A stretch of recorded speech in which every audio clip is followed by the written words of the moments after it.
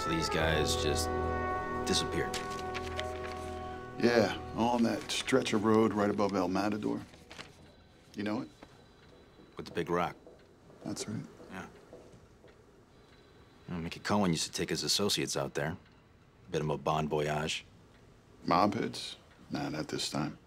One of these guys was a school teacher. Next guy, he sold insurance. And last guy, he was retired. Any connection? Mm-mm. I mean, I checked them all out. There's no criminal records, no association any criminal organizations. One of the guys was arrested for drunk driving a long time ago. They were all divorced. Hmm. Well, in that case, maybe you don't want to go out there, boss. What are you, a comedian? If that's the case, you sure don't want to go out there. Yeah, look, I know what happened, all right? They go out to the rock, they take that long, cold, slow swim to China. Suicide? It's been known to happen out there. Nah, not this time. What do you mean? Well, for one thing, there's no bodies.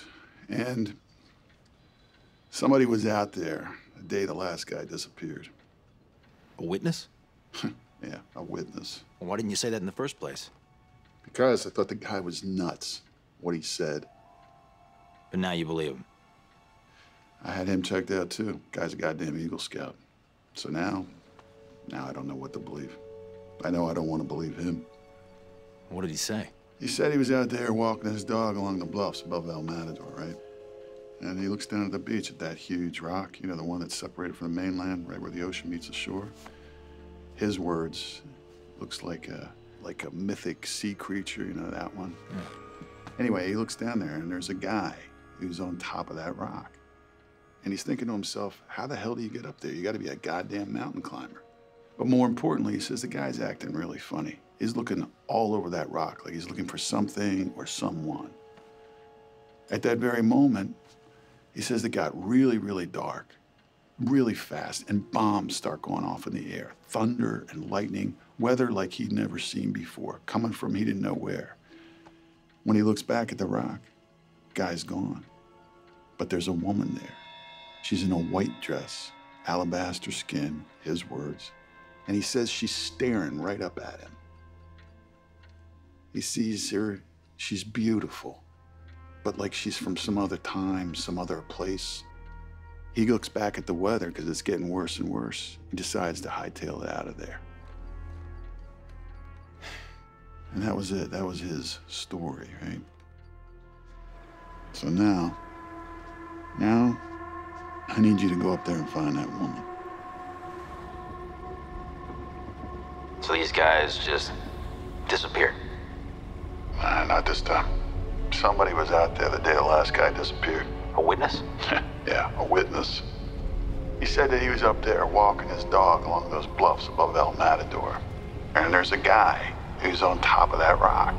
He's just like looking all over the rock, as if he's looking for someone or something. Then it gets dark all of a sudden, really fast. This weather. When he looks back at the rock, guy's gone. But there's a woman there, in a long white dress with alabaster skin. And she's staring right up at him, not moving. Now I don't know what to believe. I know I sure don't want to believe him.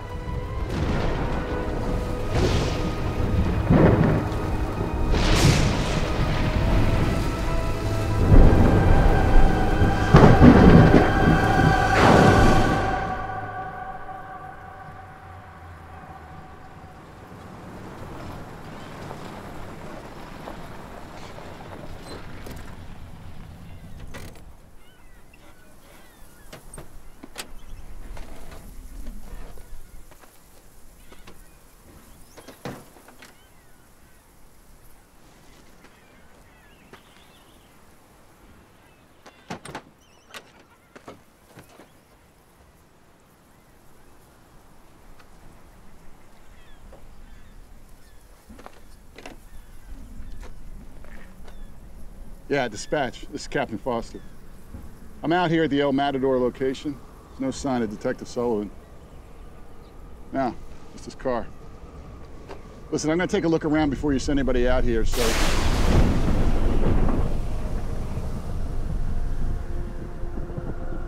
Hang on a minute.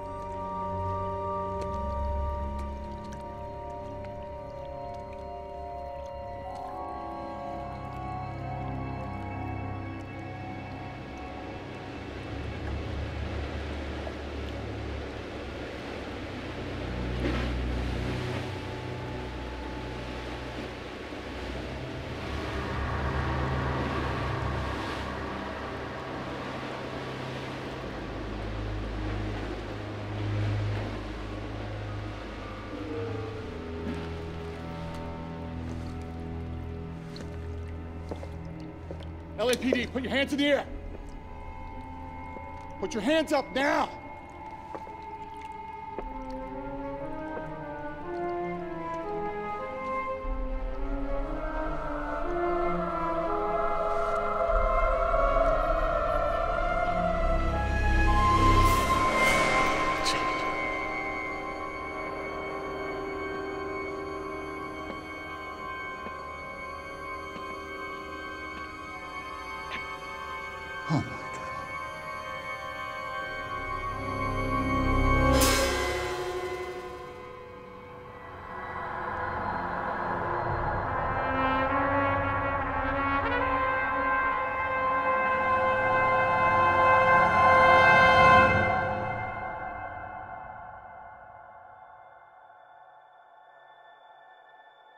うん。